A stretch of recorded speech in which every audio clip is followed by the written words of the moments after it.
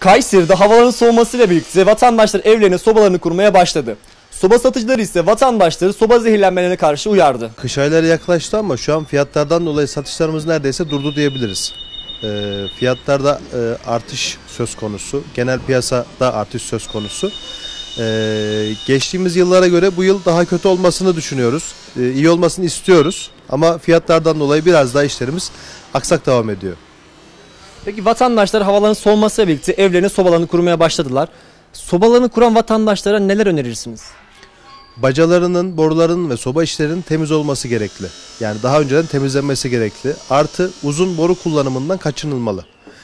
İlave olarak e, rüzgarlı havalarda e, bacalarının üstlerinde şapka dediğimiz ya da işte rüzgarın geri tepmesini önleyen e, bacalar var, şapkalar var. Onları kullanmaları gerekir. Zira rüzgarlı havalarda rüzgar teptiği zaman yani rüzgar baca tepmesi diye tabir edilir. İçeriye gazlı dumanı bacadan tahliye, edemediği için içeriye verecektir.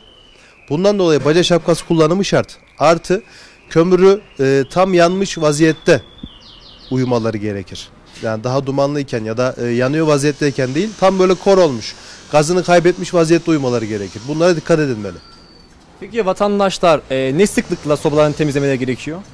Ee, kullanılan yakıt cinsine bağlı, e, odun ya da kömür kullanımına bağlı minimum haftalık olarak kontrol edilmesi ya da 15 güne bir kesinlikle temizlenmesi gerekir.